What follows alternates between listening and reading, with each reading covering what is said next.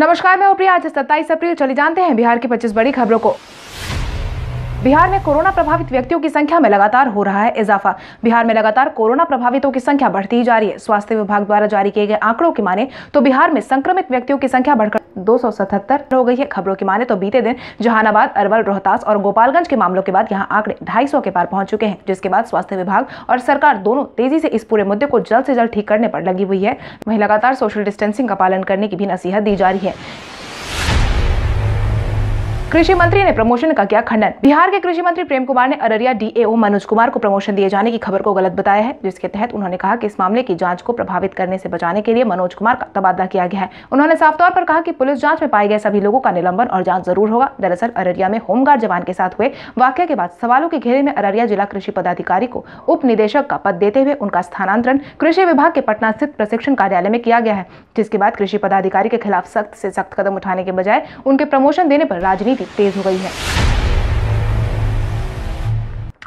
मुख्यमंत्री नीतीश कुमार ने अधिकारियों को कोविड 19 की चेन को रोकने का दिया आदेश। मुख्यमंत्री नीतीश कुमार ने सभी अधिकारियों को जारी आदेश करते हुए यह कहा है कि कोविड 19 की चेन को रोकने का जल्द से जल्द प्रयास किया जाए, जिसके लिए मुख्यमंत्री नीतीश कुमार ने सभी जिलों की कार्य योजना बनाए जाने की अपील की है, जिसके तहत पॉजिटिव मामलों की चेन को ट्रेस करके, उसे कॉन्टैक्ट चेन की पहचान करके सैंपल लेकर उनकी जाँच करवाने का आदेश जारी किया गया है। इसके साथ ही सभी हॉटस्पॉट इलाके को पूरी तरीके से सैनिटाइज करने की बात भी कही गई है। बंद में बेरोजगार हुए लोगों को हुनरमंद बनाने का जिम्मा लिया बिहार सरकार के उद्योग विभाग ने। कोविड 19 के कारण हुए लॉकडाउन के बीच बिहार के उद्योग विभाग ने वैसे लोग जो बिहार में बंद की वजह से बेरोजगार हो गए हैं या फिर वैसे अप्रवासी बिहारी जो दूसरे राज्यों से बिहार पहुँच चुके हैं, उनके लिए रोज़गार के अवसर के साथ हुनरमंद बनाने का नया तरीका निकाला है, जिसके तहत एक मीडिया हाउस से बातचीत के दौरान बिहार के उद्योग मंत्री श्याम रजक ने अपने विभाग को इस बारे में जानकारी देते हुए यह बताया है कि हमारी कोशिश है कि कोरोना से प्रभावित सभी लोग बंद के इस माहौल में बेरोजगार है, ऐसे लोग जिन्हें कला के क्षेत्र में रुचि है, उन्हें अब तक ना तो कोई सही फोरम मिल पाया है और ना ही सही ट्रेनिंग इसलिए अब ऐसे लोगों को चिन्हित कर उन्हें रोज़गार दिया जाए। खबरों की माने तो आज होने वाली अहम बैठक के बाद उद्योग जगत इस बात की आधिकारिक सूचना घोषित कर देंगे। बिहार के वरिष्ठ भाजपा नेताओं के पास प्रधानमंत्री नरेंद्र मोदी का आया फ़ोन। प्रधानमंत्री नरेंद्र मोदी ने बार बार अपने संबोधन में सभी बुज़ुर्ग लोगों से अपने सेहत का खास ध्यान रखने की अपील की थी। इसी क्रम में उन्होंने हाल ही में बिहार भाजपा के कई बुज़ुर्ग नेताओं से फ़ोन कर उनका हालचाल जाना है और उनका मनोबल बढ़ाने का काम किया है। खबरों की माने तो भारतीय जनता पार्टी से जुड़े सत्तर साल से अधिक उम्र वाले कई वरिष्ठ नेताओं को फ़ोन कर प्रधानमंत्री नरेंद्र मोदी ने उनसे बातचीत की है, जिसकी जानकारी पूर्व मंत्री और पटना विश्वविद्यालय के प्रोफेसर सुखता पांडे के अलावा पार्टी के कई पूर्व विधायक, विधान पार्षद ने भी दी है। दिल्ली के बिहार भवन के हेल्पलाइन नंबर पर 14 लाख लोगों की समस्याओं की हुई सुनवाई, जहाँ एक तरफ़ विपक्षी दल लगातार बिहार के बाहर रह गए लोगों की मदद नहीं किए जाने की बात कह रहे हैं, वहीं दूसरी तरफ़ हाल ही के एक रिपोर्ट में दिल्ली के बिहार भवन के हेल्पलाइन नंबर में पिछले एक महीने में चौदह लाख लोगों की समस्याओं की सुनवाई होने की बात सामने आई है। आपको बता दें, पच्चीस मार्च से दिल्ली के बिहार भवन में तीन हेल्पलाइन नंबर जारी किए गए थे, साथ ही कंट्रोल रूम की व्यवस्था भी की गई थी, जिसका मकसद बिहार के बाहर देश के किसी भी हिस्से में फंसे प्रवासी मजदूरों का इलाज कराने से संबंधित सभी समस्याओं के समाधान के लिए बनाया गया था, जिसके बाद अब तक 14 लाख लोगों की मदद की जा चुकी है। साथ ही उनके खाते में मुख्यमंत्री विशेष सहायता योजना के तहत एक एक हज़ार रूपए भी भेजे जा चुके हैं, जिसकी जानकारी बीते दिन बिहार सरकार के मंत्री ने खुद साझा की है।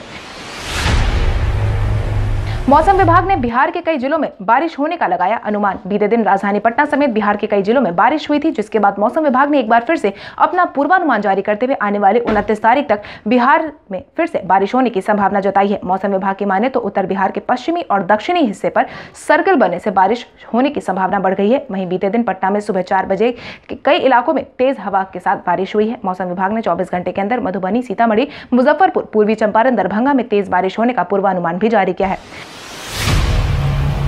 बिहार में ठीक होने वाले का आंकड़ा पहुँचा छप्पन। कोविड 19 के बढ़ते मामलों के बीच बिहार के लिए एक अच्छी खबर सामने आई है, जिसके तहत बीते दिन बिहार में कुल मिलाकर 11 मरीज़ के ठीक होने की खबर सामने आई है, जिसके बाद बिहार में ठीक होने वालों का कुल आंकड़ा छप्पन पर पहुँच गया है, जिसकी जानकारी बिहार के स्वास्थ्य मंत्री मंगल पांडे ने दी है। उन्होंने बताया कि बिहार के लिए यह सुखद समाचार प्राप्त हुआ है। सुबह में कोरोना के ग्यारह प्रभावित व्यक्ति स्वस्थ हो गए हैं। वहीं बिहार में लगातार बढ़ रहे कोविड नाइन्टीन के मामलों की बात करें तो वर्तमान समय में मुंगेर, बिहार का हॉटस्पॉट जिला बन चुका है, जहाँ से अब तक साठ से ज़्यादा मामले सामने आ चुके हैं। पूर्णिया में जाँच कराने पहुँची युवती का निकला विदेशी कॉन्टैक्ट जहाँ एक तरफ़ सरकार बार बार सभी लोगों से अपनी ट्रैवल हिस्ट्री को नहीं छुपाने की नसीहत दे रही है, वहीं इस बार पूर्णिया से हाल ही में आया एक मामला ने सरकार की परेशानी को बढ़ा दिया है। बीते दिन अस्पताल पहुँची पूर्णिया की युवती की ट्रैवल हिस्ट्री सऊदी अरब से निकली है। हालाँकि उस युवती ने सीधे सीधे तौर पर चिकित्सकों को अपनी ट्रैवल हिस्ट्री के बारे में नहीं बताया था। जब डॉक्टरों को शक हुआ, तब जाकर उस युवती ने सऊदी अरब से आने की बात कही, जिसके बाद एहतियात के तौर पर उसे आइसोलेशन सेंटर में डाल दिया गया। वहीं उसके सैंपल को जाँच के लिए भेज दिया गया है। आरा के कोविड 19 प्रभावित व्यक्ति ने एक हफ़्ते में कोरोना को हराया। कोविड 19 वर्तमान समय में पूरी दुनिया की परेशानी का सबब बना हुआ है। वहीं बिहार में भी लगातार इसके मामले सामने आ रहे हैं। वहीं इसी बीच आरा के एक युवक के ठीक होने की खबर सामने आई है। खबरों की माने तो मात्र एक हफ़्ते के अंदर इस युवक ने कोविड नाइन्टीन को हरा दिया है। वहीं ठीक होने के बाद अस्पताल से भी छुट्टी दे दी गई है। खबरों की माने तो यह युवक उन्नीस अप्रैल को पॉजिटिव पाया गया था। वहीं यह हाल ही में कानपुर से भोजपुर बॉर्डर होते हुए बिहार के अंदर पहुँचा था।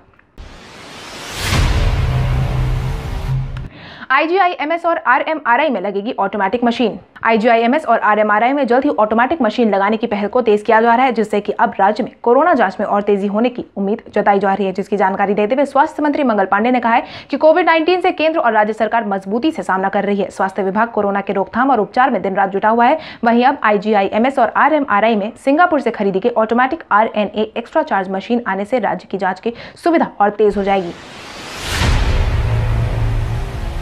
बिहार में कोरोना की चपेट में ज़्यादातर बाहर से आने वाले लोग।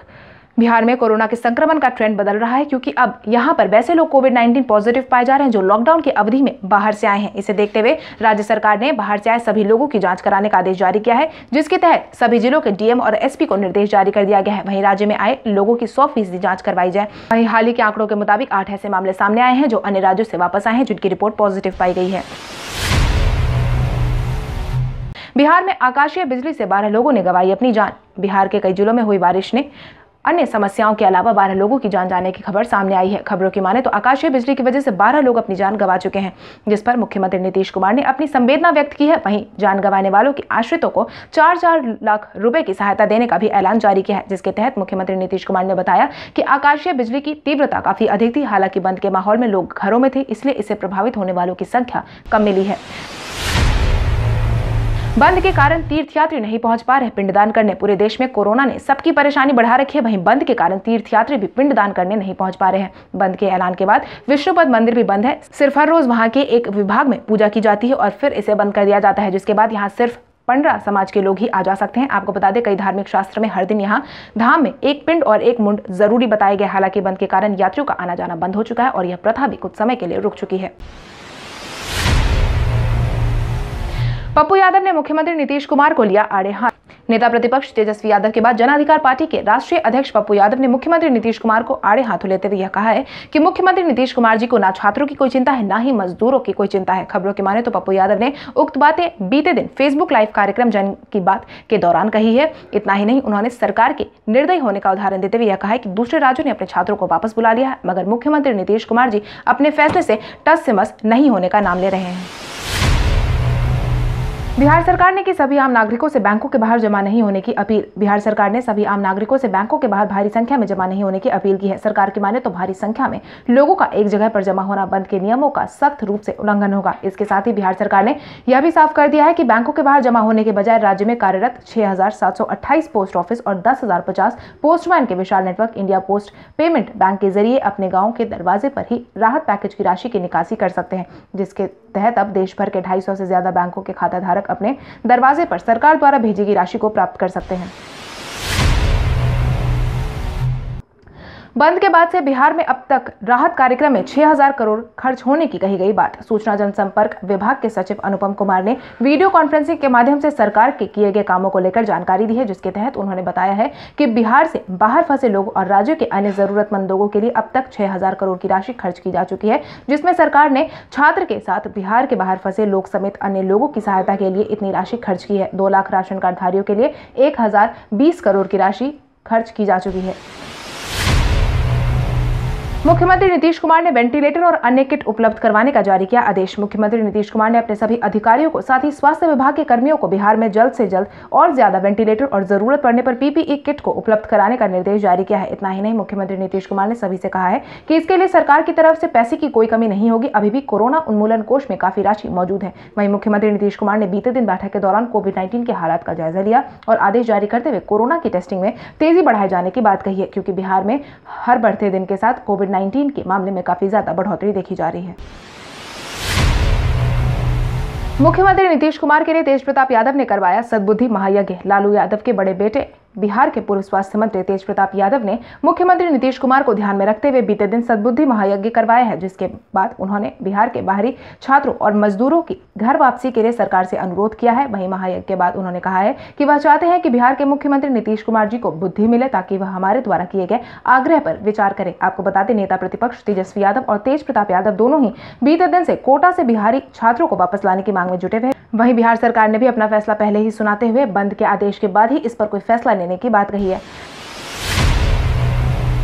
बिहार कांग्रेस अध्यक्ष मदन मोहन झा ने बिहार सरकार को नियोजित शिक्षकों को लेकर दी दो टूक नसीहत। बिहार कांग्रेस अध्यक्ष मदन मोहन झा ने बिहार सरकार को नियोजित शिक्षक के मामले में दो टूक नसीहत देते हुए शिक्षक संघों से वार्ता कर कोई स्थायी समाधान निकालने की नसीहत दी है। इसके साथ ही उन्होंने यह भी कहा है कि उनतीस मई के पहले शिक्षकों को योगदान देने का सरकारी फरमान बिना सोचे समझे ले लिया जाए। लोकतंत्र में बगैर संवाद के किसी प्रकार का आदेश लेना तानाशाही माना जाता है। इसलिए सरकार से अपील है कि सभी शिक्षक संघ के साथ वार्ता कर एक स्थायी निदान का विकल्प तैयार किया जाए।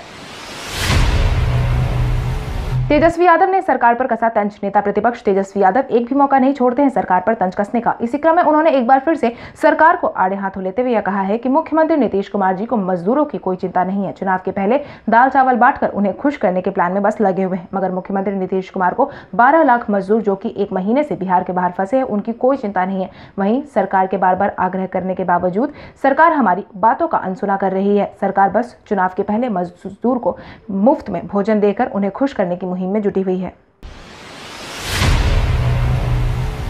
प्रधानमंत्री नरेंद्र मोदी ने बीते दिन की अपने मन की बात प्रधानमंत्री नरेंद्र मोदी ने बीते दिन अपने मन की बात कार्यक्रम में एक बार फिर से राष्ट्र का संबोधन किया, जहाँ पर उन्होंने डॉक्टरों सफ़ाई कर्मियों साथ ही पुलिस व्यवस्था को लेकर भी आम लोगों की सोच में बदलाव होने का आश्वासन दिया है। इसके साथ ही उन्होंने सभी आम नागरिकों की सराहना करते हुए यह कहा है कि कोविड 19 की इस परीक्षा में सभी नागरिक एक साथ सामने आकर इसका सामना कर रहे हैं। इतना ही नहीं, उन्होंने यह भी कहा है कि भारत में कोरोना की परीक्षा से जनता सही मायनों में जूझ रही है। हम भाग्यशाली है कि आज पूरा देश और देश का हर नागरिक एक साथ इस मुकाबले के लिए खड़ा है।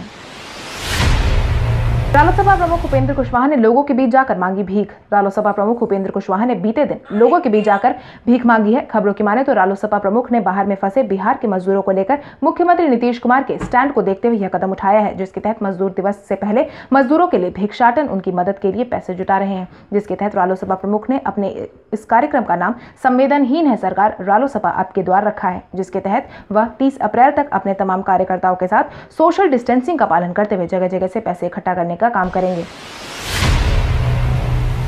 कोविड 19 से शांति के लिए रवि किशन ने अपने घर पर करवाया हवन। कोविड 19 इस समय पूरी दुनिया की परेशानी का सबब बना हुआ है। वहीं भारत में भी इसके लगातार मामले में बढ़ोतरी देखी जा रही है। इसी को ध्यान में रखते हुए साथ ही कोविड 19 से शांति का माहौल हो जाए, इसके लिए रवि किशन ने अपने घर पर ही हवन का आयोजन करवाया था, जिसकी जानकारी रवि किशन ने खुद अपने सोशल मीडिया अकाउंट से शेयर की थी। जिसके तहत उन्होंने बताया कि भारतीय संस्कृति में हवन का महत्व अभूतपूर्व रहा है या वैज्ञानिक तरीके से भी वातावरण को स्वच्छ रखने में कारगर है। रवि किशन के अलावा बीते दिन राष्ट्रीय स्वयंसेवक संघ ने भी अपने कार्यालय में हवन करवाया था। सचिन तेंदुलकर ने अपने पाँच फेवरेट ऑलराउंडर के नाम बताए। भारतीय टीम के पूर्व क्रिकेटर सचिन तेंदुलकर ने हाल ही में अपने शीर्ष पाँच ऑलराउंडर के नाम बताए हैं, जिसमें उन्होंने कपिल देव का नाम लिया है। कपिल देव के बाद सचिन तेंदुलकर ने पाकिस्तान के वर्तमान प्रधानमंत्री इमरान खान का नाम लिया है। इसके बाद उन्होंने न्यूजीलैंड के सर रिचर्ड हेडली इंग्लैंड के इयान बॉथम और मैकलम मार्शल का नाम लिया है। आपको बता दें, सचिन तेंदुलकर ने उक्त बातें बीते दिन स्टार स्पोर्ट्स क्रिकेट के साथ कनेक्टेड शो में कहा है।